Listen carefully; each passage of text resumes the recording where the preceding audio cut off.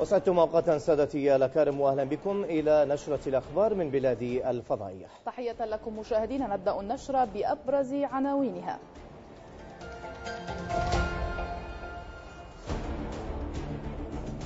بدء الصفحة الأولى لمعركة الفتح بتحرير قرى مخمور شرق نينوى والعباد يبحث مع القادة الميدانيين الخطوات المقبلة.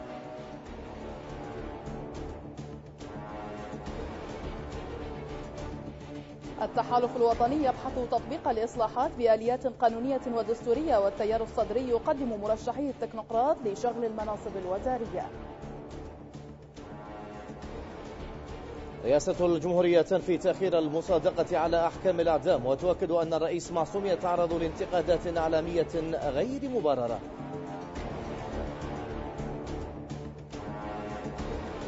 والجيش السوري يدخل مدينة تدمر الأثرية ويفرض سيطرته بالكامل على منطقة المثلث غرب المدينة.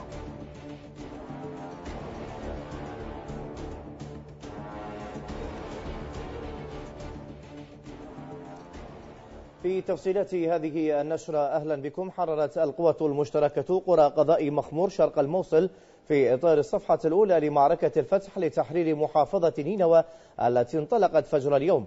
بيان لقيادة العمليات المشتركة. أكد أن عملية الفتح نفذت من ثلاثة محاور وتم خلال ساعتها الأولى تحرير عدد من القرى بينها النصر وكرمندي وكذالة وخربردان. مؤكدا مشاركة قوات عسكرية من عمليات نينوى والقطعات الملحقة بها في العملية. يعد تحرير ناحية الجيارة من أهم الأهداف العسكرية التي وضعتها القيادات الأمنية في هذه المرحلة بخاصة بعد تطهير أغلب مناطق محافظة صلاح الدين كونه البوابة لتحرير نينوى والقضاء على داعش. عبد الله نوري. عملية الفتح لتحرير نينوى. انطلقت العملية من مركز التنسيق المشترك لتحرير نينوى في مخمور. والذي كانت تتحشد فيه القوات من مختلف الصنوف منذ فترة طويلة استعدادا لبدء معركة التحرير. بدأت العملية من ناحية القيارة التي تبعد 60 كيلو مترا عن مركز الموصل وتعد من أهم مدنها الجنوبية التي تتوسطها قرى عديدة. سميت بالقيارة نسبة إلى كثرة عيون القير والنفط فيها وتحتوي هذه الناحية على مصفى القيارة ومعمل كبريت المشارق. وفي غربها توجد قاعدة صدام الجوية سابقا وتنتشر فيها المعالم الأثرية والحضارية المختلفة.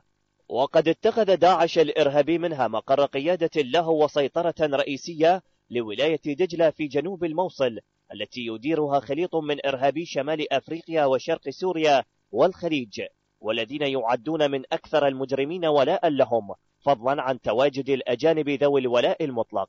تسكن في ناحية القيارة عشائر لهيب والجبور والسبعاويين وطي والجواعن وغيرها من العشائر العربية التي رفضت المفهوم الداعشي وكانت موالية للحكومة والعملية السياسية في القيارة قبل أن تسقط نينوى بيد العصابات الإرهابية والتي عانت الكثير من الإساءات والإضطهادات والإعدامات التي مارستها قوى الشر والإجرام بسبب عدم المبايعة من قبل تلك العشائر. وتعتبر ناحية القيارة أهم وأبرز الأهداف في المرحلة الحالية بعد حسم معركة سنجار والصينية وبيجي وغيرها من المدن القريبة من الموصل حيث تمثل منطقة هشة بعد قطع الأوصال الداعشية يمكن تحريرها بالتعاون مع أهلها وعشائرها فهي بوابة ومفتاح عبور نحو مركز نينوى. في غضون ذلك تمكنت القوة الأمنية من قتل القائد العسكري لداعش لمناطق جنوب الموصل ضمن عمليات الفتح لتحرير نينوى. مصدر أمني أكد قتل المدعو أسعد هذال الملقب باليمني قائد داعش العسكري لمناطق جنوب الموصل باشتباك قرب قرية النصر وبينا أن القوات الأمنية ما زالت تتقدم بشكل كبير في مناطق غرب مخمور جنوب الموصل نحو تحقيق أهدافها. ضمن الصفحة الأولى من عمليات الفتح. إلى ذلك عقد القائد العام للقوات المسلحة رئيس الوزراء حيدر العبادي اجتماعا مع القيادات العسكرية والأمنية في مقر قيادة عمليات بغداد. وبحسب بيان لمكتب رئيس الوزراء فقد جرى خلال الاجتماع مناقشة الوضع الميداني في نينوى ومعركة الفتح لتحرير المحافظة من الإرهابيين. إضافة لملفات أخرى كما بارك العبادي انطلاق عمليات تحرير نينوى وتحقيقها أول نجاح بتحرير عدة قرى بهجوم مباغت للمقاتلين الأبطال على عصابات داعش الإرهابية. للحديث عن مجريات الأحداث في الموصل ينضم معنا عبر الأقمار الصناعية من أربيل الشيخ بنيان الجربة عضو مجلس محافظة نينوى. سيد بنيان بداية مرحبا بك. بعد تحرير عدد من القرى غرب قضاء مخمور. صف لنا المشهد الأمني على أرض الواقع هناك. تفضل. مرحبا بكم وأهلا وسهلا. لك التحية بسم الله الرحمن الرحيم. صباح هذا اليوم آه، بدأت آه، عمليات تحرير محافظة نينوى وهي استمرار لعمليات التحرير الأولى التي بدأت منذ أكثر من سنة. آه، انطلقت اليوم قيادة عمليات نينوى متزامنة مع قوات البيشمركة المتجحفلة معها وأيضا من مقاتلي العشائر العربية الموجودة. وتم تحرير أكثر من ستة قرى في مناطق مخمور والقيارة. وهناك محورين رئيسيين تقريبا على أثرها تم تحرير هذه القرى.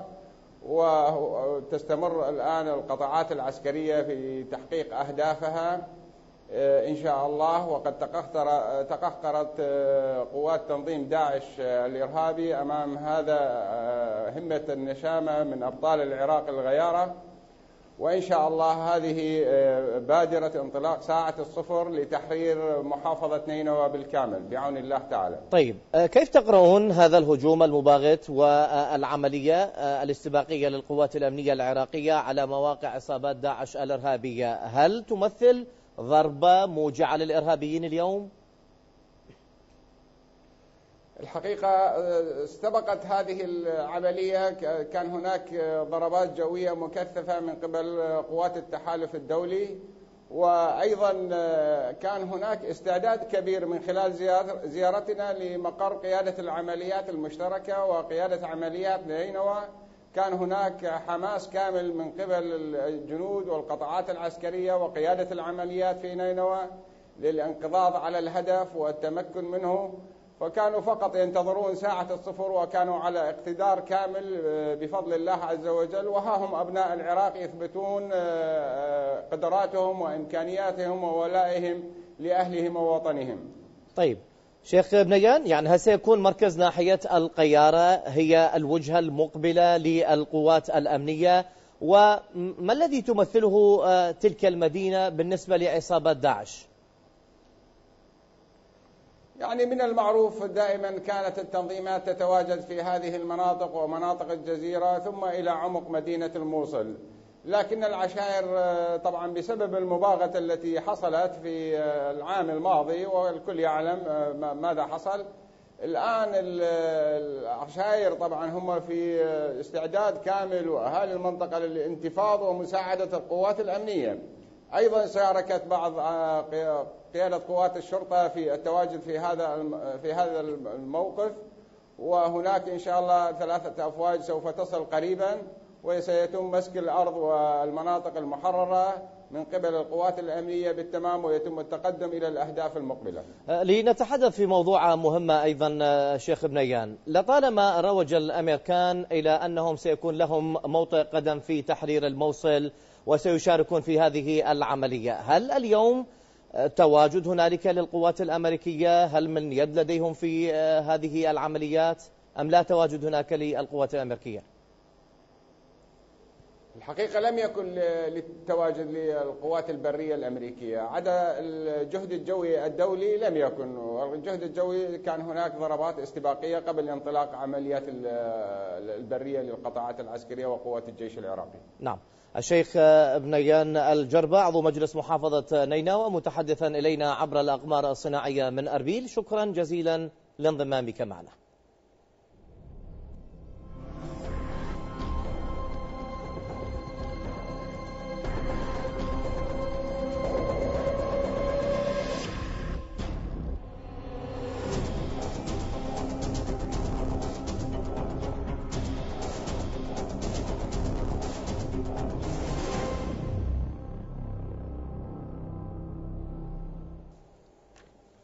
المتحدث باسم قيادة العمليات المشتركة العميد يحيى رسول أكد أن عمليات الفتح تتم بجهود عراقية وأن دور التحالف الدولي يقتصر على المشورة. العميد يحيى باتصال هاتفي لبلادي شدد على أن القائد العام للقوات المسلحة رئيس الوزراء حيدر العبادي هو من يشرف بشكل مباشر على عملية الفتح لتحرير نينوى. بالقرب من مخمور لا زالت قطاعاتنا تتقدم. تم رفع العلم العراقي على آه، تلك القرى وإن شاء الله آه، انتصارات آه، متواصلة. هناك إشراف كبير من قبل السيد القائد العام القوات المسلحة نعم. السيد وزير الدفاع. أيضا التواجد الميداني للسيد قائد القوات البرية وعلى رأس القطاعات وهو يشرف على تقدم القطاعات. كل هذا له دور بعمليه تحقيق النصر بشكل كبير. قطاعاتنا تتقدم انتصارات متزامنة. هذه هي الصفحة الأولى من عملية التحرير. الذي آه، آه، الاشراف الكبير لقيادة العمليات المشتركه من خلال التخطيط الدقيق والسليم للخطط التي تم وضعها القطاعات التي تشارك هي قطاعات قيادة عمليات تحرير نينوى والقطاعات الملحقة معها ويقتصر دور التحالف الدولي فقط نعم. على تقديم الاستشارة والتدريب وكذلك الضربات الجوية بالتنسيق مع قيادة عضو مجلس محافظة نينوى عبد الرحمن الوقاع أكد هروب إرهابي داعش من القرى المحررة غرب قضاء مخمور ضمن عمليات الفتح. الوقاع وفي تصريح سابق لبلادي بين أن العملية أسفرت عن تطهير 12 قرية من زمر داعش. انطلقت اليوم آه، لتحرر عدد كبير من آه، القرى التابعة إلى آه، ناحية القيارة وقضاء مخمور بالتساوي. نعم. هذه القرى منها قرية خديلة قرمندي مهانة النصر الخطاب فاق عدد هذه القرى أكثر من 12 قرية لحد هذه اللحظة حيث أنا على اتصال مع قيادة العمليات تحرير نينوى وقريب منهم والعملية لا زالت مستمرة والحقيقة لا وجود للدواعش في هذه القرى حيث فروا نعم. قبيل انطلاق العملية وتركوا المنطقة واليوم الفرقة 15 آه، تسيطر على هذه المنطقة وتقوم بتطهير هذه القرى وتتمركز وتتمترس في هذه الأماكن. خلية الإعلام الحربي أعلنت مشاركة قوات الحشد الشعبي بعملية الفتح التي انطلقت لتحرير محافظة نينوى. الخلية وفي بيان لها أكدت أن القوات الأمنية ضمن قطع عمليات تحرير نينوى والقطاعات الملحقة بها وقوات الحشد الشعبي شاركوا بالصفحة الأولى من عمليات الفتح لتحرير نينوى مبينة أن تلك القوات ماضية باتجاه الأهداف المخطط لها من قبل القيادات الأمنية لتطهير المناطق المغتصبة. أكدت وزيرة الصحة والبيئة عديل حمود أن وزارتها استنفرت جهودها لإسناد دائرة صحة نينوى وتلبية احتياجاتها من المستلزمات الطبية تزامنا مع انطلاق الصفحة الأولى لعمليات تحليل نينوى. حمود أشارت إلى أن التنسيق يجري على قدم وساق لتعزيز نينوى بالأدوية ورفدها بعجلات الإسعاف والعيادات الطبية المتنقلة لتقديم الخدمات الطبية للعوائل النازحة والإسناد الطبي الميداني للقوات المسلحة. لافتة إلى أن الوزارة ستشرع بتأهيل المؤسسات الصحية في المناطق التي يتم تحريرها. إلى ذلك طهرت القوات الأمنية مركز شرطة كبيسة جنوب مدينة هيت بمحافظة الأنبار ورفعت العلم العراقي فوقه. مصدر أمني أفاد بأن قوات الجيش وبالاشتراك مع شرطة محافظة الأنبار فرضوا سيطرتهم على ناحية كبيسة ورفعوا العلم العراقي على مركز شرطتها وذلك بعد تطهيرها من إرهابي داعش. مشيرا إلى أن العمليات الأمنية مستمرة لرفع العبوات الناسفة المزروعة في الناحية من قبل عصابات داعش. دعما للجهود الأمنية لتحرير الأنبار. عقد في مدينة الرمادي مؤتمر عشائري تكريسا للوحدة الوطنية وإعادة النازحين وإعمار المناطق المحررة. محمد الشمري. مؤتمر عشائري موسع عقدته عشائر الأنبار في مدينة الرمادي وحضره جمع واسع من وجهاء وشيوخ عشائر العراق كافة إذ وصل عدد الحاضرين بالمؤتمر قرابة الألف شيخ أتوا من جميع المحافظات العراقية. المؤتمر الذي حمل هذا العنوان جاء لتوحيد الكلمة والموقف بين كافة أطياف الشعب العراقي ونبذ الطائفية بالإضافة إلى دعم جهود القوات الأمنية. قادمين من كافة محافظات العراق من البصرة ومن صلاح الدين ومن نينوى ومن الدهوك ومن أربيل ومن الناصرية ومن العمارة لكي نعقد مؤتمر مؤتمر المحبة والتعايش السلمي بين أبناء الطوائف العراقية وبين مكون الواحد وأن العراق جزء واحد لا يتجزأ. ما نشوف اكو فرق بين بين سني وشيعي بين بالوسط والجنوب والمناطق الغربية. وإن شاء الله التكاتف هذا يحقق لنا النصر النهائي على على أعداء العراق. حضر المؤتمر وفد من الحكومتي المحلية والمركزية وجرى وضع هذه الصورة التي فيها أشخاص من مختلف أبناء المحافظات ضحوا بحياتهم وسالت دماؤهم على أرض الأنبار وهذه الصورة تعد أيضا رمزا للوحدة الوطنية العشائر باركت الإنجازات الأمنية والعسكرية التي تحققت في مدينة الرمادي وطالبت الحكومة المركزية بالتركيز على إعادة إعمار المدن المحررة لكي تعود الأهالي النازحة إلى مناطقها. تعلن العشائر العراقية عن تضامنها مع بعضها للدفاع المشترك ومقاتلة التطرف والإرهاب بكل أشكاله وأينما وجد ومساندة قواتنا المسلحة بكل تشكيلاتها لإكمال مسيرة التحرير على الحكومة المركزية التنسيق مع الدول الشقيقة والصديقة دعما لصندوق الإعمار وتعويض المتضررين والإسهام في إعادة إعمار المدن المحررة. المؤتمرون أكدوا أن وحدة العراق تأتي من تكاتف أبناء عشائره إذ إن الجميع شركاء في الوطن والأرض من محافظة الأنبار محمد الشمري قناة بلاد الفضائية. دمر طيران الجيش وحدات تكتيكية تستخدمها عصابات داعش الإرهابية بالهجوم على ناحية تازا جنوب محافظة كركوك. المتحدث باسم قوات الحشد الشعبي محور الشمال علي الحسيني أكد أن طيران الجيش نفذ أكثر من ست ضربات جوية على مواقع داعش في قصبة البشير ما أسفر عن قتل وإصابة إرهابيين وتدمير وحدات تكتيكية يستخدمها داعش بالهجوم على مركز ناحية تازا كما تمكن الطيران الحربي من قتل المدعو أبو أرشد أحد قضاة داعش الإرهابي وتدمير مركز اتصالات وثلاث مواقع تابعة للتنظيم في ناحية العباس بقضاء الحويجة. ينضم معنا ضيفا مباشرة عبر الأقمار الصناعية الدكتور أحمد الشريفي الخبير الاستراتيجي. أهلا بك دكتور. بداية انطلاق عملية عسكرية لتحرير الموصل وأيضا تطهير عدد من القرى. كيف تقرؤون هذه العملية؟ وبهذا التوقيت أيضا. تفضل. بسم الله الرحمن الرحيم. بالحقيقة العملية العسكرية هي مستمرة منذ فترة والذي حصل أن انطلاق العملية التي تتعلق في الجهد البري. نعم. أما عمليات التي كانت تجري في عبر الضربات الجوية وعبر عمليات آه، استخدام الإسناد البري سواء كان ممثلة بالمدفعية أو بالجهد الصاروخي هي بالحقيقة عمليات تجريد لاستهداف قدرات التنظيم سواء كانت القدرات البشرية نعم. أو القدرات آه، التسليحية والقتالية للتنظيم. أي بمعنى أنه هذه المعركة بالحقيقة هي جاءت تكملة للعمليات الجوية. وربما خير دليل على ذلك الضربة الأخيرة التي كانت موفقة جدا التي استهدفت آه، مهم يعني مخزن مهم لعتاد التنظيم في جامعة الموصل. هذا بالحقيقة أدى إلى آه، تدمير القدرات التسليحية للتنظيم فضلا عن انهيار المعنويات ثم تلتها العملية البرية وهي ستكون عبر صفحات. الصفحة الأولى في تقديرنا هي الاندفاع باتجاه قرى كانت بشكل أو بآخر تشكل تهديدا عبر استخدام النيران المباشرة وغير المباشرة للقوى المتمركزة في مخمور وهو ما حصل اليوم.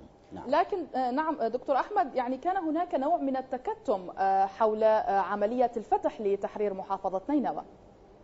هذه بالحقيقة تكتيك ذكي جدا استخدم في إدارة المعركة ولا بد أن نشير إلى أنه الإدارة والقيادة والتنفيذ كلها بالحقيقة هي بأيدي وبجهود وطنية طيب. ودور التحالف الدولي لا يعدو كونه جهدا ساندا نعم. بالحقيقة تحقيق عنصر المباغتة كان مهم جدا آه، كثير من آه، الخلايا آه، كانت غير متوقعة لهذا الهجوم وعدم توقعها للهجوم أدى إلى إيقاع خسائر كبيرة ولا تحقيق نصر بوقت قصير نعم دكتور أحمد بالنسبة لمشاركة الحشد الشعبي في تحرير الموصل يعني هل لهذه المشاركة سيكون دور بالإسراع في تحقيق النصر هناك؟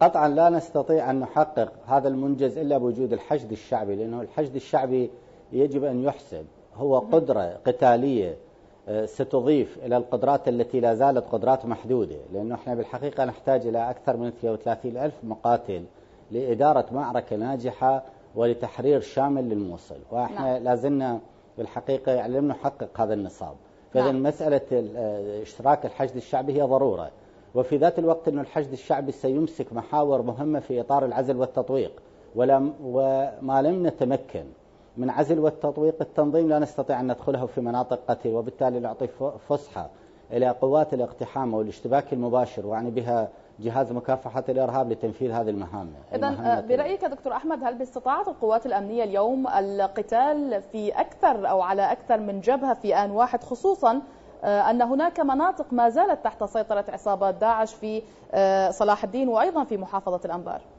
كثير من المناطق الآن التي يجري الالتفاف عليها أو آه، عبورها هي في حقيقة الأمر مغذياتها موجودة في الموصل. أي بمعنى أن الانهيار في القدرات القتالية والمعنويات سيؤثر إيجابا لصالح قطاعاتنا وسلبا لوجود هذه الخلايا. وهذه الخلايا من المتوقع أنها بمجرد أن تستهدف المراكز الرئيسية ستذوب قدراتها القتالية في الأطراف والأذرع التي هي بالحقيقة في بعض الأحيان تكون غير منظورة إلا عبر جهد مشاغلة ليس إلا.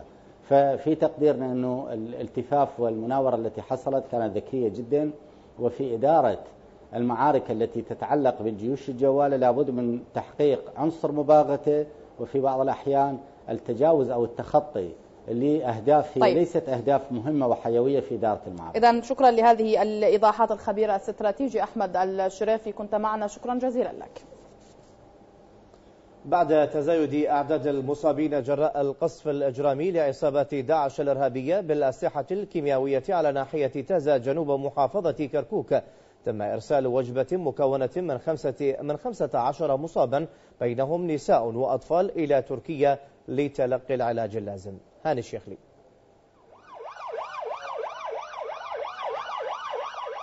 خمسة عشر مصابا بينهم نساء وأطفال من جراء استنشاقهم الغازات السامة خلال قصف عصابات داعش الإرهابية لناحية تازة توجهوا إلى تركيا لتلقي العلاج في مستشفياتها بعد أن تنقلوا بين مستشفيات كركوك وبغداد ولم يجدوا علاجا لهم.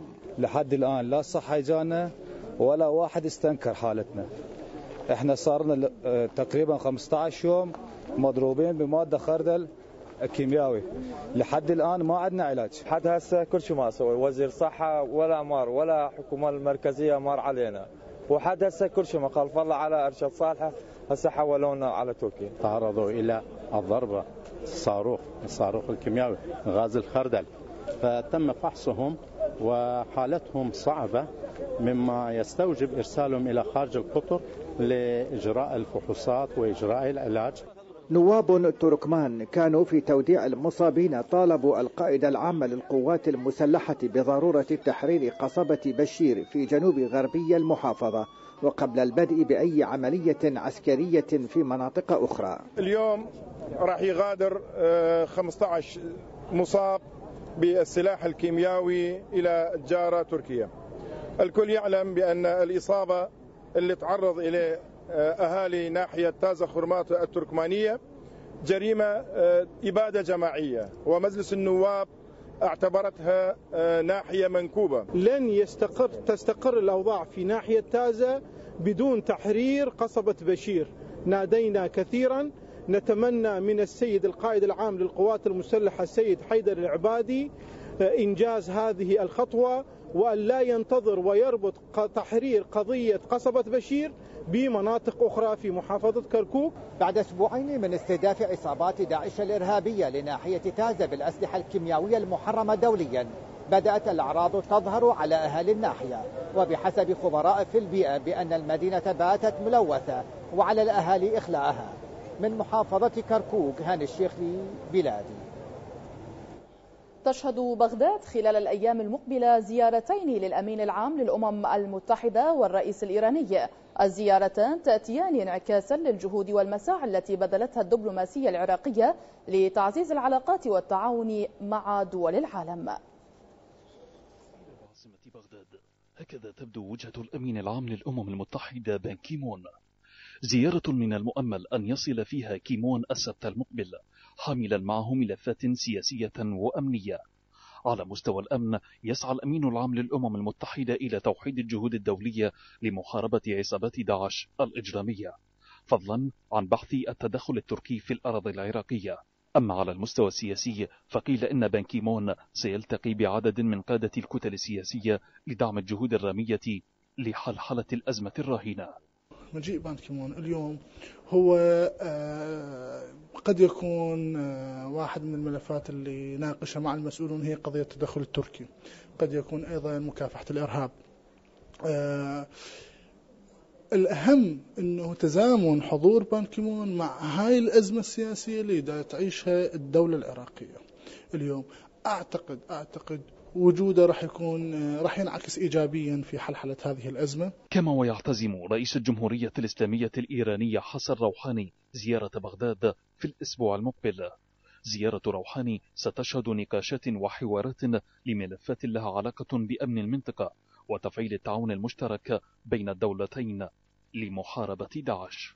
آه، حضور الرئيس روحاني كذلك هو رئيس آه، دولة قوية ومجاورة إلى العراق سيكون تأثيرها آه، على الأزمة الداخلية الحالية في العراق آه، باعتبار أنه آه، دولة مثل إيران لها ثقلها في السياسة الإقليمية. كذلك نتمنى أن تكون هذه الزيارات هي نقطة انطلاق جديدة إلى العمل السياسي العراقي. وتعكس هذه الزيارات المرتقبة مكانة العراق بين دول العالم كلاعب أساسي في استقرار المنطقة. هذا الحرك الدبلوماسي يأتي بعد جهود سياسة العراق الخارجية في تعزيز وجودها في العالم الخارجي. عمر العمري قناة بلادي. ما زالت أصداء موقف دكتور إبراهيم الجعفري وزير الخارجية المدافع عن فصائل المقاومة الإسلامية في أروقة الجامعة العربية تتواصل. حيث تسلم مكتب تيار الإصلاح الوطني في كربلاء المقدسة وثيقة وقعها شيوخ ومثقفون أشادوا فيها بهذه الوقفة التاريخية والوطنية. عبد الأمير الكناني. ما زالت ردود الأفعال الجماهيرية في كربلاء تتوالى في موقف أشادت فيه بكلمة الدكتور الجعفري في اجتماع جامعة الدول العربية حيث وقع سادات وشيوخ ومثقفو كربلاء وثيقة حملت كلمات الثناء إزاء وقفة الدكتور الجعفري المدافعة عن الحشد الشعبي. في الحقيقة موقف السيد الجعفري في اجتماع جامعة وزراء الخارجية الجامعة العربية في مصر كان مشرفا عندما دافع عن حزب الله والحشد الشعبي المقدس الذي تشكل وفق فتوى صدرت من سماحة المرجع الديني الأعلى السيد علي الحسين السيستاني دام ظله.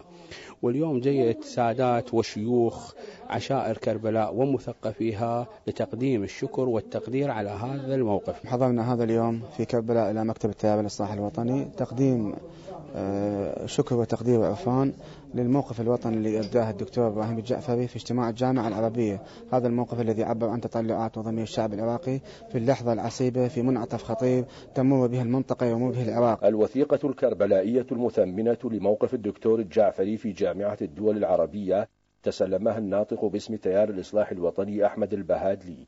وبحضور ملاكات التيار في كربلاء والعاصمة بغداد. الحمد لله استلمنا وثيقة موقعة من قبل قبائل وعشائر آه، كربلاء الكريمة آه، فيها شكر وتقدير إلى دولة الدكتور الجعفري على موقفه الذي آه، أفاض به بصوت الحق الجهور إذ قال أن من يتهم حزب الله والحشد الشعبي هم الإرهابيين وإنما نحن نحمل قضية وندافع عن وطن. يستقبل مكتب تيار الإصلاح الوطني في كربلاء المقدسة مجموعة من سادات وشيوخ ووجهاء كربلاء وأكاديميها لتقديم رسالة شكر وتقدير موقعة من ثلة خيرة من أبناء هذه المدينة المقدمة إلى السيد وزير الخارجية الدكتور إبراهيم الجعفري. حول ما صدح به في الجامعة العربية في المؤتمر الأخير. ليس بغريب على أبناء كربلاء إشادتهم بالمواقف الوطنية ومنها الدفاع بكلمات الحق والقوة عن أبطال الحشد الشعبي في جامعة الدول العربية من قبل الدكتور الجعفري. وثيقة وقعها سادات وشيوخ ومثقفو كربلاء. حيت موقف السيد الجعفري في الجامعة العربية بدفاعه عن الحشد الشعبي الذي هزم الدواعش في جبهات القتال. لقناة بلاد الفضائية عبد الأمير الكناني كربلاء المقدسة. ترأس الدكتور إبراهيم الجعفري رئيس التحالف الوطني وزير الخارجية اجتماعا للهيئة القيادية للتحالف الوطني بحضور رئيس الوزراء حيدر العبادي وذلك لبحث الأوضاع الأمنية والسياسية الراهنة التي تشهدها البلاد. الهيئة القيادية شددت على ضرورة إدامة الحوار البناء من خلال تكثيف الاجتماعات للوصول إلى رؤية مشتركة إزاء التحديات القائمة ودعم الإصلاحات على وفق الآليات الدستورية والقانونية. كما أكدت أهمية تعزيز المستلزمات الضرورية ومساندة جبهات القتال ودعم القوات الأمنية في مواجهة الجماعات الإرهابية. أعلن المكتب الإعلامي لرئيس الوزراء حيدر العبادي تسلم قائمة مرشحين تكنقراط من مكتب زعيم التيار الصدري السيد مقتدى الصدر.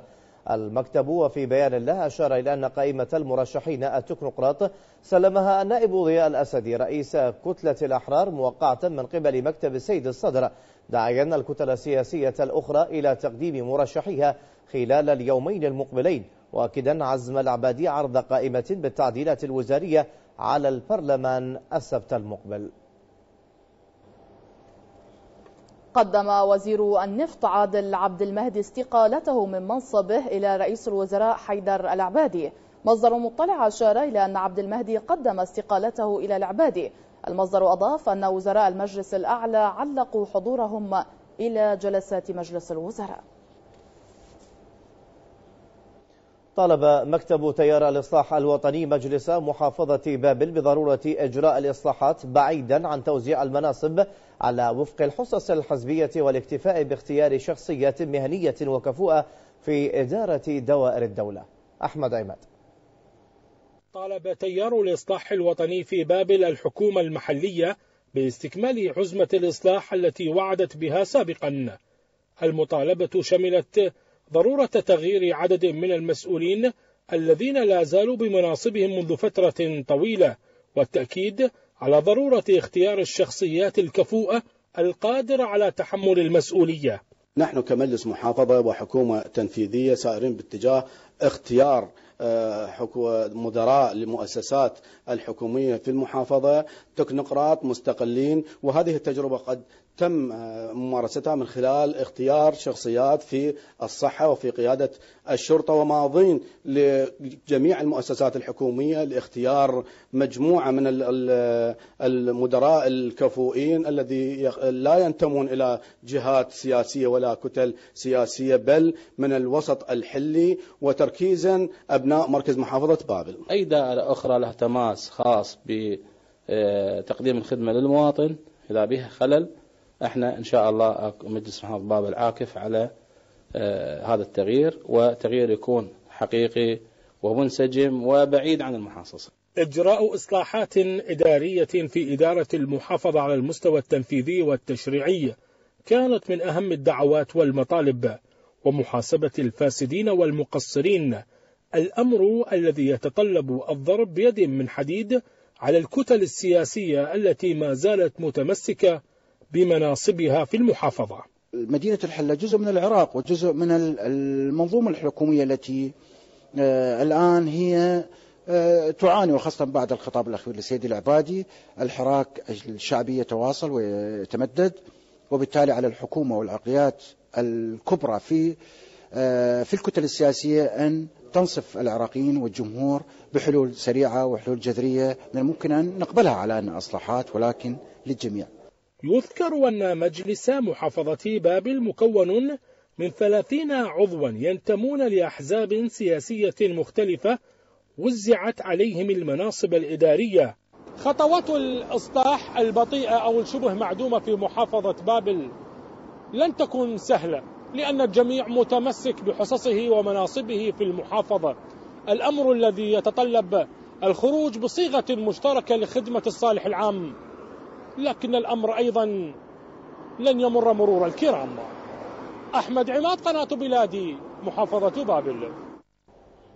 كشفت رئاسة الجمهورية عدم تنفيذ 170 حكم إعدام صادر منذ عام 2012 حتى الآن.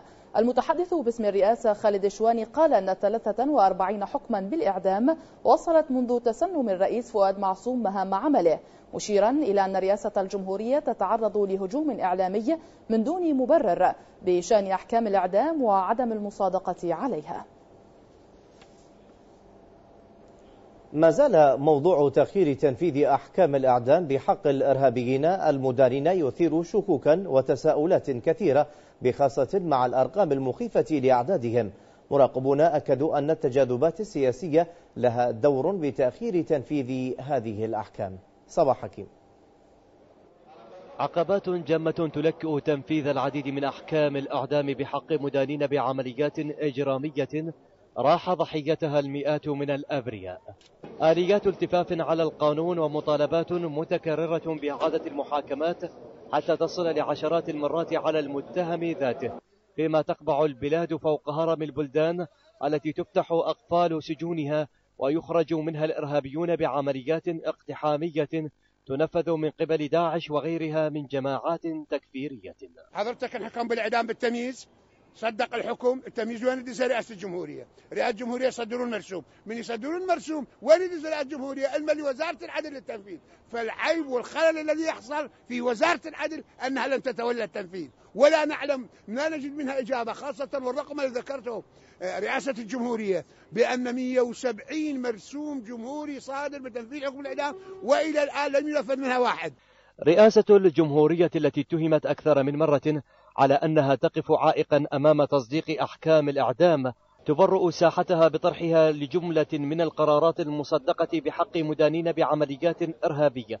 هنا بوصلة الاستفهام تدار نحو وزارة العدل وتماطلها لا سيما أن رئاسة الجمهورية أعلنت عن ركن العشرات من هذه الأحكام على رفوف النسيان منذ 2012 إلى اليوم. ربما الاتفاقات السياسية والضغوط السياسية هي تقف عائقا أمام تنفيذ آه، آه، حكم الإعدام. بالتالي اليوم الحكومة العراقية يجب أن تتخذ خطوات حقيقية من أجل آه، تنفيذ أحكام الإعدام لأن اليوم هؤلاء يقبعون في السجون الحكومة العراقية ربما قد تهدر عليهم الكثير من الأموال من خلال الأكل والشرب وغيرها. للحالات المطاطية في العملية السياسية اشتراك مخفي في تنفيذ القصاص أو تأخره. حالات المد والجزر يتحكم بدرجاتها عن طريق بعض الأوراق الرابحة منها. هؤلاء المدانون بالإرهاب والمحسوبون على جهات سياسية تقدم التنازلات عند أولى خطوات ترخية الحبال وفتح الأبواب المغلقة أمام أولئك الذين كانوا في الأمس قضية رأي عام بسبب جرائمهم. عشرات الأحكام بالأعدام لم تنفذ منذ سنين لأسباب عدة منها رفض تصديقها من قبل رئاسة الجمهورية في الدورة الماضية وتباطؤ وزارة العدل في الدورة الحالية. ملفات تفوح منها رائحة الاتفاقات السياسية. غيب العدل واسترخصت الأرواح من أجل منفعة بنيت على اتفاق دبر بليل. صباح حكيم قناة بلادي بغداد. النشرة مستمرة وتتابعون فيها.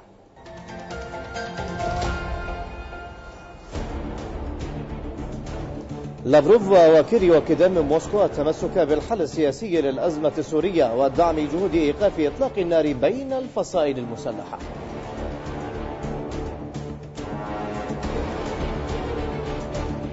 ومجلس الأمن يرحب بإعلان إيقاف إطلاق نار مرتقب في اليمن وصالح يشيد بدعم نصر الله لليمنيين في قتال السعودية وأمريكا.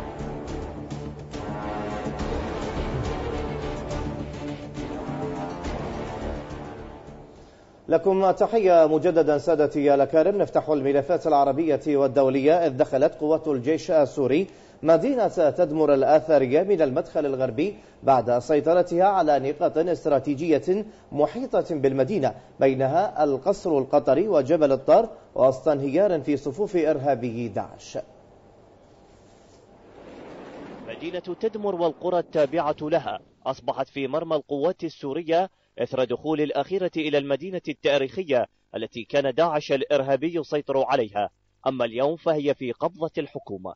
وخرق الجيش دفاعات داعش وسط قصف مدفعي وغارات مكثفة للطيران الحربي الروسي والسوري وأحكم سيطرته على فندق ديديمان ودوار الزراعة من جهة طريق دمشق. واقتحمت القوات السورية أطراف الحي الغربي للمدينة بعد اشتباكات عنيفة مع إرهابيي داعش ويستمر الجيش بالتقدم تجاه القلعة الأثرية من عدة محاور وسط تراجع كبير لعناصر داعش. وحقق الجيش تقدما كبيرا بريف حمص الشرقي محكما سيطرته على المدينة من الجهتين الغربية والجنوبية كما سيطر على جبل الطار غرب المدينة وقام بإزالة الألغام والعبوات الناسفة التي زرعتها الجماعات الإرهابية. هذا وأكدت وزارة الدفاع الروسية أن استعادة تدمر ستفتح الطريق إلى الرقة ودير الزور وصولا إلى حدود العراق وتكمن أهمية السيطرة على تدمر في أن الأخيرة مليئة بآبار النفط وحرمان التنظيم من استخدام موارده في تمويل عملياته الإرهابية. أقامت الفصائل الفلسطينية وممثلو الفعاليات الشعبية مهرجانا حاشدا في دمشق تضامنا مع حزب الله والمقاومة في مواجهة الإرهاب والأفكار المتطرفة التي يحملها وبدعم وتأييد من دول إقليمية. سامر زرقاء. تتوالى الفعاليات التضامنية مع حزب الله المقاوم في دمشق ولأن المقاومة هي درع فلسطين ودرع الأمة وجدت الفصائل الفلسطينية نفسها على رأس المعنيين بالقرار الجائر بحق حزب الله فكانت صرختها هي الأعلى. والتف حولها الشباب العربي ممثلا باتحاد الطلبة العرب الذي اعتبر أن القرار لا يمثل الشعب العربي وإنما بعض الأنظمة العربية التي تؤكد يوما بعد آخر حجم تآمرها على قضايا شعوبها. حزب الله حزب مقاوم يداعم بشكل أساسي للمقاومة الفلسطينية ويعتبر أن القضية الفلسطينية هي القضية المركزية للأمة والبوصلة بالنسبة له تحرير فلسطين. ولذلك فنحن بحلف استراتيجي مع حزب الله ونقف على أرضية واحدة في مقاومة المشروع الصهيوني في المنطقة. حزب الله الذي أذاق العدو كأس المرات وما زال حزب عربي مقاوم هدفه فلسطين قبل لبنان والقدس. وبالتالي هو اضاف هو اضاف نوعية للمقاومة الوطنية الفلسطينية لثورتنا الفلسطينية المعاصرة. ومن هنا يأتي ياتي من هنا يأتي التكالب على هذا الحزب. أو المقاومه هو التكالب على فلسطين وهو تكالب على كل المقاومين سواء في فلسطين أو في لبنان أو في سوريا أو في العراق. المشاركون في المهرجان التضامني مع حزب الله سواء من الفصائل الفلسطينية أو الطلبة العرب وممثلي الفعاليات الشعبية ودول محور المقاومة أكدوا أن دور المقاومة وخصوصا في مكافحة الإرهاب لم تعد فائدته مقتصرة على شعوب المنطقة. فمع الإرهاب الذي بدأ يضرب أوروبا بات من الواجب تقديم كل الدعم لقوى المقاومة التي تدفع الأثمان الباهظة في حربها ضد الإرهاب. الدول الأوروبية والشعوب الأوروبية يعرفون الفرق بين المقاومة والإرهاب. أنا أعتقد بأن الشعوب المنطقة مواقفهم مختلف مع الحكومات. الشعوب العربية مواقفهم مختلف مع الحكومات العربية. شعوب المنطقة يدعمون المقاومين ويقفون إلى جانب المقاومة الصامدة التي أفشلت المؤامرات الصهيونية. نحن في الاتحاد الطلاب العرب ضمن منظماتنا الطلابية والشعبية المنتشرة في الوطن العربي ضمن نسيج هذا النسيج العربي. وفعلا هناك قسم كبير تأثر بما يسمى الربيع العربي في بداية الأحداث منذ خمس سنوات. لكن الآن وبعد هذه الصحوة واليقظة وكشف كل الأوراق وكشف كل التآمر والتخاذل العربي أصبحت الأمور مكشوفة للجميع. فأصبح خيار المقاومة هو الحل الوحيد ولا بديل عن خيار المقاومة من أجل تحرير الأرض وعودة الإنسان. المقاومة التي تنهل من معين الدعم الشعبي هي الباقية برأي المجتمعين هنا. أما الأنظمة الرجعية وقراراتها فإلى زوال. حقيقة تعرفها الشعوب العربية وتنكرها بعض الأنظمة. محاولة إطالة عمرها باستهداف قوى المقاومة. ترى الفصائل الفلسطينية أنها أول المستهدفين باستهداف حزب الله فاستهداف المقاومة هو أكبر خدمة تقدمها بعض الأنظمة العربية مجانا لإسرائيل. سامر زرقاء بلاد الفضائية دمشق. والآن مشاهدينا انضم معنا عبر سكايب من سوريا. مراسلنا هناك سامر زرقاء أهلا بك. سامر بداية ضعنا في صورة آخر التطورات العسكرية في معركة تحرير مدينة تدمر الأثرية السورية. تفضل. يعني نعم يعني اليوم يطوى صفحه سوداء من تاريخ الأحداث في سوريا والحرب الإرهابية التي تم خوضها من قبل عصابات ارهابيه وخصوصا داعش وجبهة النصره ومسيلاتها على سوريا. بانتظار أن تطوى أن يطوى صفحات الكتاب الأسود كله.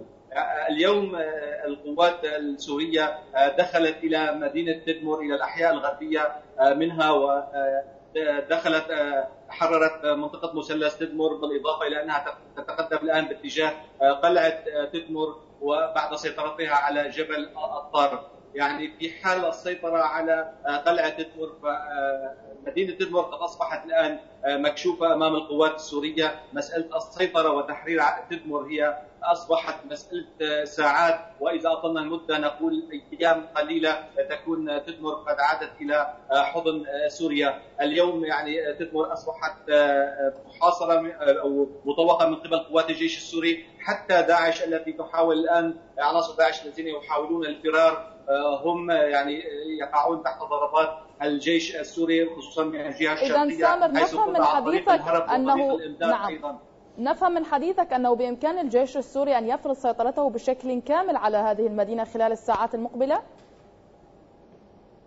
يعني من المتوقع أن يكون هناك إنجاز كبير في مدينة تدمر وأن تعلن محررة خلال ساعات، اليوم ما يعرقل تقدم الجيش السوري هي يعني الغام المزروعة في كل مكان على الطرق وبين الأبنية وفي كل مكان في تدمر، نحن نعلم أن مدينة تدمر قد أصبح لها محتلة من قبل داعش منذ شهر إيار عام 2015 أي أن داعش قد حصن المدينة بشكل كبير ولكن رغم هذه التحصينات رغم العراقيل التي توضع في وجه الجيش السوري إلا انه يعني القوات السورية مع الحلفاء مع الطيران الروسي والسوري يعني هم مصممون وأنجزوا إنجازات كبيرة يعني تتخطى المتوقع في تحرير المدينة. إذا حررت مدينة تدمر فيعني هذا أن يعني أن هناك يعني ثقل كبير قد انزاح عن كاهل السوريين جميعا. طيب سامر وأنت الأقرب إلى الحدث يعني حسب معلوماتك هل سيشرع الجيش ربما بعمليات عسكرية متواصلة للوصول إلى مدينة الرقة وتطهيرها من الإرهابيين؟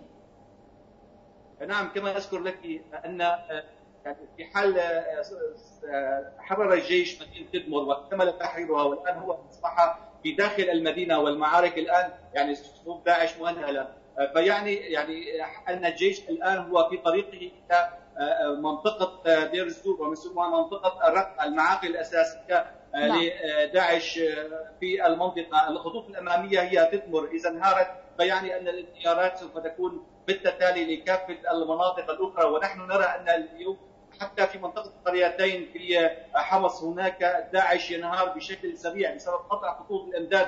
بعد سيطرة الجيش السوري على خطوط الأمداد الواصلة بين تدمر طيب اتضحت الصورة. كنت معنا عبر سكايب مراسلنا من سوريا سامر زرقاء شكرا جزيلا لك. كشفت مصادر في الحكومة السورية والمعارضة فحوى وثيقة ديمستورا بشأن الحل السياسي للأزمة. وانتشرت هذه البنود كمسودة وثيقة ديمستورا التي سيتم التفاوض بشأنها حتى اللحظة الأخيرة. وتضم نقاطا أهمها إصلاح مؤسسات الدولة ورفض الإرهاب مهما كان مصدره وإعادة بناء الجيش السوري مع إدراج المجموعات المسلحة فيه. وفي فحوى ورقة المبادئ التأكيد على سيادة ووحدة سوريا ورفض أي تدخل خارجي بالشؤون الداخلية وإعادة اللاجئين إلى ديارهم. هذا وفي مؤتمر صحفي مشترك عقده المبعوث الدولي إلى سوريا ستيفان دي مستورة مع منسقة الشؤون الخارجية للاتحاد الأوروبي فيدريكا موغيريني بجنيف. قال دي مستورة أن مكافحة عصابات داعش والنصرة من الأولويات المهمة مشيرا لضرورة أن يسبق ذلك إيجاد حل سياسي للأزمة السورية حتى يتم التفرغ لمواجهة الإرهاب. الإرهاب وأعني بذلك داعش والنصرة هو أولوية لكن أولوية الأولويات هي الانتصار على الإرهاب. يجب البحث عن حل سياسي في سوريا. لذا الكرة تعود إلى أولئك الذين يشتكون من الإرهاب. ونقول لهم ماذا لو قمتم جميعا بمساعدتنا لحل الأزمة السورية سياسيا؟ وسترون فجأة أننا سنكون قادرين على التركيز على داعش. وبذلك نساعد سوريا وأوروبا معا. مسؤولة السياسة الخارجية في أوروبا فيدريكا موغريني أكد ضرورة بذل الجهود لإنجاح مفاوضات السلام السورية مشيرة إلى أن الحل السياسي في سوريا سيضمن الأمن والاستقرار للمنطقة وأوروبا. أريد أن أركز على أهمية الالتزام بالمسار السياسي والانخراط فيه من دون تباطؤ أو تأخير ومن دون مراوغات مع رغبة حقيقية بالتوصل إلى حل. المسألة برمتها الآن بين يدي ستيفن إلا أنني أشعر بالحاجة للاستجابة لدعواته والانضمام إلى مطلبه التركيز على ضرورة استمرار المفاوضات ونجاحها وهو أمر مهم ليس للسوريين فقط بل لأمن المنطقة ككل ولأمن أوروبا والمجتمع الدولي برمته. ونأمل برؤية خطوات جدية إلى الأمام خلال الأسابيع المقبلة. مباحثات بناءة أجراها وزير الخارجية الأمريكية جون كيري في روسيا حول المفاوضات السورية والانتقال السياسي بالإضافة لعدد من القضايا الدولية الأخرى. ليؤكد الجانبان ضرورة بذل مزيد من الجهود من أجل تخفيض مستوى العنف وإيصال مساعدات إنسانية. محمد عماد. الانسحاب الروسي المفاجئ من سوريا أعطى لأمريكا إشارات عديدة توحي بجدية موسكو بإيجاد أي حل دبلوماسي للأزمة السورية. وواشنطن تستجيب بسرعة عن طريق كيري الذي صرح مباشرة بنية ذهابه لموسكو لمناقشة جميع التطورات.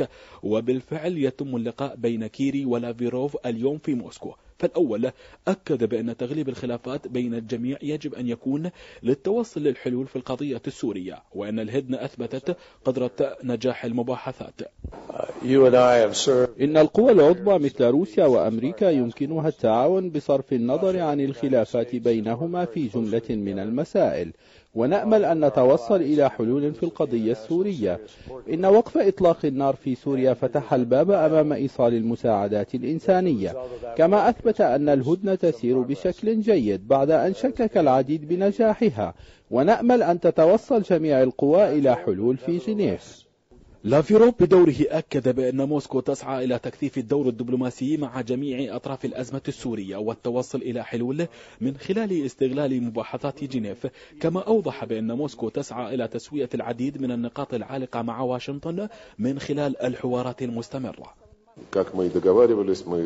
مثلما اتفقنا اليوم سنولي للتسوية السورية الجزء الرئيس من اهتمامنا وكذلك سنبحث الأوضاع المتأزمة هناك.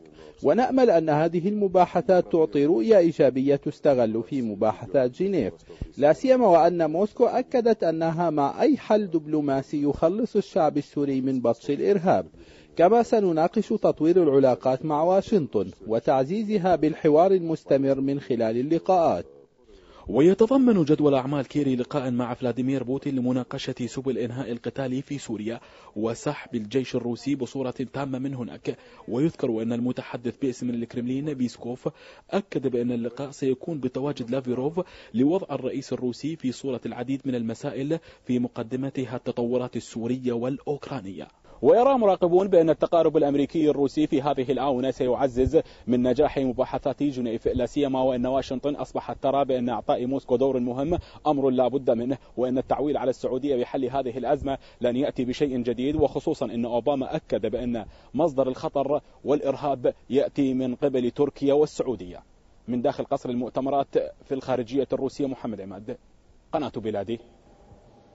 رئيس فرقة العمل الإنساني الدولية في سوريا جان إيجلاند أكد أن بعثة المساعدة الدولية حصلت على موافقة الحكومة السورية لإيصال مساعدات إلى محتاجيها في المناطق المحاصرة بريف دمشق.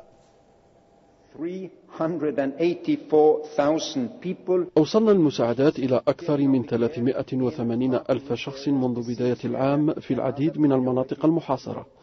وسنوصل المساعدات إلى أضعاف ذلك في الأسابيع المقبلة. تمكنا من بلوغ ثمان أو تسع من المناطق الأحد عشر التي ذكرناها في خطتنا الشهرية لشهر أبريل. لدينا الضوء الأخضر من الحكومة السورية للوصول إلى مناطق جديدة لم ندخل إليها من قبل في ريف دمشق. لكن ما يقلقنا أننا لن نستطيع الوصول إلى دوما ودارية بعد. ونحن قلقون على هاتين المدينتين حيث أن هناك ألاف المدنيين ووضعهم صعب جدا. استشهد جندي وأصيب ثلاثة آخرون بانفجار عبوة ناسفة في وادي الرعيان قرب الحدود السورية شرق لبنان.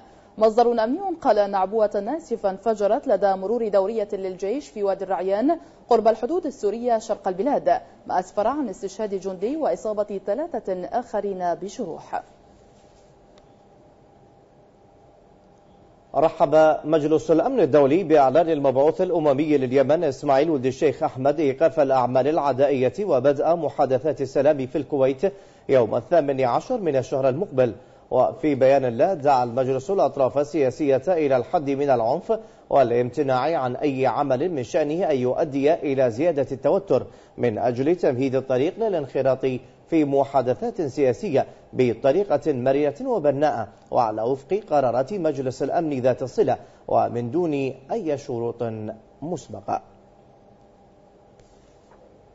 وجه الرئيس اليمني السابق علي عبد الله صالح تحية للأمين العام لحزب الله السيد حسن نصر الله على وقوفه إلى جانب اليمن ضد العدوان السعودي الأمريكي مرحبا في الوقت نفسه بانفتاح إيران على اليمن وتقديمها كافة أشكال الدعم والمساندة للشعب. شكرا لحزب الله. شكرا لحسن نصر الله الذي يقف معنا ضد العدوان. شكرا لهؤلاء الرجال الأوفياء. نحن ليس بيننا وبين النظام السعودي أي خلاف مذهبي. فأقول للأشقاء في المملكة العربية السعودية لا تراهنوا على جواد خاسر. الشعب اليمني ليس عدوكم. تفضلوا تفاهموا مع إيران إيران تتهموها بالتحالف معنا لا وجود لأي تحالف. وكنا نرحب لو, لو أن إيران فتحت علينا التحالف لا تحالفنا معها. ضد العدوان تتصاعد وتيرة المعارك في اليمن بين الجيش ومرتزقة العدوان السعودي لتسجل انتصارات ساحقة للجيش واللجان الشعبية في أغلب محاور العمليات وسط استمرار غارات العدوان ضد المدنيين. نتيجة الضربات الموجعة التي يتلقاها في مواقعها العسكرية بالبلاد. تبقى اليمن صامدة بعزم وإرادة في مواجهة العدوان السعودي حيث يسطر الجيش واللجان الشعبية أروع الانتصارات ضد العدوان وقد سيطروا على تلة الخزان والتلال الاستراتيجية المجاورة لها في جبهة الضباب بتعز جنوب غرب البلاد. والتي شكلت نقطة تحول في سير المعارك أجبرت ميليشيات العدوان على التراجع. تم تطهير هذا التباب وهذه المناطق من مرتزقة العدوان ومن الدواعش. ونحن بعدهم وسوف نلاحقهم إلى إلى عقر دورهم. ولا نكل ولا نمل. أدعو الناس للخروج للدفاع عن أراضيهم والصمود أمام الغزو السعودي. إلى ذلك وجهت قوات الجيش واللجان رسائل إلى قوى العدوان السعودي الأمريكي ومرتزقته مع مرور عام على العدوان أكدت فيها الحفاظ على جهوزيتها وقدرتها في خوض المعارك والصمود والثبات لمنع أي تقدم لميليشيات العدوان في محافظة مأرب. رسالة لقوى العدوان بعد مرور عام من العدوان السعودي الأمريكي على اليمن أننا هنا نقاتل في جبهة مارب بكل صمود بكل تحدي وفي تطور آخر استشهد وأصيب عشرات اليمنيين إثر استهداف طائرات العدوان العاصمة صنعاء وأسفر الاستهداف أيضا عن تضرر عدد من المنازل والمدارس. كما استشهد ثلاثة مواطنين وجرح آخرون إثر غارات لطائرات العدوان على حي سكني شرق مديرية عبال في الحديدة غرب البلاد. وفي صعدة استهدفت طائرات العدوان السعودي المنطقة الشمالية حيث تركزت غاراتها على الطرقات العامة والجسور ويواصل العدوان تدميره البنى التحتية وإعاقة حركة الشاحنات والمواطنين. استشهد فلسطينيان برصاص جيش الكيان الإسرائيلي بزعم محاولتهما طعن جندي بسكين في الضفة الغربية. مصدر أمني ذكر أن الهجوم وقع قرب نقطة تفتيش عند مدخل حي تل رمادة في مدينة الخليل. هذا وأغلق جيش الكيان الضفة الغربية حتى السبت بسبب مخاوف أمنية معززة مع حلول أو معززة مع حلول عيد المساخر اليهودي. الرئيس الأمريكي باراك أوباما قال بكلمة له خلال زيارته الأرجنتين إن إعلان دولة يهودية تضم الفلسطينيين لا يكون أمرا ديمقراطيا مشددا على إعطاء الفلسطينيين دورهم في تقرير مصيرهم بدولتهم الخاصة. إذا نظرتم إلى التركيبة السكانية للمنطقة في الضفة الغربية وقطاع غزة وسكان عرب إسرائيل فإنها تنمو بمعدل أسرع من عدد سكان اليهود. إذا لم تجدوا وسيلة لحل الصراع سيكون عليكم الاختيار بين أمرين. الخيار الأول هو دولة يهودية غير ديمقراطية لأنها لو كانت كذلك سيشكل الشعب اليهودي أقلية صغيرة. والخيار الثاني هو الحفاظ على الديمقراطية في ظل غياب دولة ذات أغلبية يهودية. والطريقة الوحيدة لتجنب هذا الخيار في حال اختيار الدولة اليهودية والديمقراطية في آن هي إعطاء الفلسطينيين والعرب الذين يعيشون في هذا المجتمع دولتهم الخاصة كي يتمكنوا من تقرير مصيرهم. وآمل أن يحدث ذلك وحتى لو انتهت ولاية الرئاسية سأستمر في مساعي لتعزيز هذا الحوار السلمي. الأزمة الليبية على الطاولة التونسية وبحضور شمل تشاد والنيجر والجزائر بهدف دعم العملية السياسية والأمنية في البلاد. الاجتماع يأتي وسط دعوات لترك الخلافات الليبية والنهوض بالواقع الصعب الذي تعيشه الدولة. مساع عربية متواصلة تهدف لإنقاذ العملية السياسية والأمنية في ليبيا. العاصمة التونسية احتضنت اجتماعا لوزراء خارجية دول جوار ليبيا بدورته الثامنة. وضم كل من تونس وليبيا وتشاد والنيجر والجزائر. الاجتماع شدد على أهمية تكاتف الجهود لدعم العمليتين السياسية والأمنية في ليبيا والعمل على إنجاح حكومة الوفاق المقبلة في البلاد بعد سلسلة اضطرابات تشهدها في الوقت الراهن. تونس أشارت إلى أهمية الإسراع في عمل حكومة الوفاق لتتجنب ليبيا التدخل العسكري الأجنبي. حثت رئيس حكومة الوفاق الوطنية الليبية فائز السراج على الاطلاع بمسؤولياته بخصوص مكافحة الإرهاب وتأمين وتوفير الخدمات الأساسية للشعب الليبي. ولعل هذا ما يؤكد الحاجة الملحة إلى التعجيل بتأمين مباشرة المجلس الرئاسي لحكومة الوفاق الوطني برئاسة السيد فايزة السراج لمهامه في طرابلس والاطلاع بمسؤولياته بخصوص مكافحة الإرهاب وتأمين توفير الخدمات الأساسية للشعب الليبي. من جانبه دعا سراج كل الليبيين إلى تناسي الخلافات ووضع المواطن فوق كل اعتبار. هذه الأزمات هي التي تدعونا اليوم إلى التحرك والعمل سريعا. على تصدي لهذه التحديات. ولن ننجح في ذلك بدون بناء شراكة قوية ومتينة معكم. وندعو بهذه المناسبة كل الليبيين الذين لم يلتحقوا بنا أن يتناسوا الخلافات. ويضعوا المواطن ومصلحة المواطن ويضع الوطن ومصلحة المواطن فوق كل اعتبار. وتبقى التساؤلات قائمة هل من استقرار لبلد يعد في الفترة الأخيرة أرضا خصبة لتنامي الإرهاب؟ ومنطلقا للعمليات الإرهابية صوب القارة العجوز حتى فترة قريبة كان سوق السفارين في بغداد مكانا أكثر جذبا للسياح العربي والأجانب إضافة إلى كونه محط اهتمام وإقبال العراقيين من هواة فن التراث وعشاق التحف والمقتنيات الفنية إلى أنه بات مهددا بالانقراض نتيجة الإهمال الحكومي. حسين أحمد. هسه حاليا ما بقينا على عدد الأصابع عشر محلات. أكثر من 200 محل لتصنيع النحاسيات لم يبقى منها سوى عشرة محلات. إنه سوق الصفارين في العاصمة بغداد حيث يمتزج عبق الأصالة بمشهد هذه الكنوز الآيلة للانقراض مع صانعيها. التفرد والخصوصية المكانية لهذا السوق يلفظان أنفاسهما الأخيرة. بعد أن غادر الحرفيون هذه المهنة التي تعتاش على الميسورين وحركة السواح. إبداعات هذه الفطرة الفنية زاحمتها محل بيع القماش ومنتجات الماكينة الحديثة الخالية من اللون والرائحة الفنية. شغلنا بالأساس يعتمد على السائح. فبالتالي عندما تكون الأوضاع الأمنية غير مستقرة هنا راح ينخفض عدد السواح أو يتلاشى ماكو كثير من النقاشين ذهبوا إلى سوريا. كثير من النقاشين راحوا أو من الصفارين راحوا إلى الكويت اشتغلوا إلى السعودية اشتغلوا الجهات المسؤولة في البلاد لا زالت مغرمة بالشعارات فحملة الإعمار الفاشلة التي شهدها السوق شوهت ملامحه التراثية. الأخطاء في عمل السقف الذي لا يقي أشعة الشمس وعدم وجود مسارات لتصريف مياه الأمطار عكست الضعف المعماري للجهة المنفذة.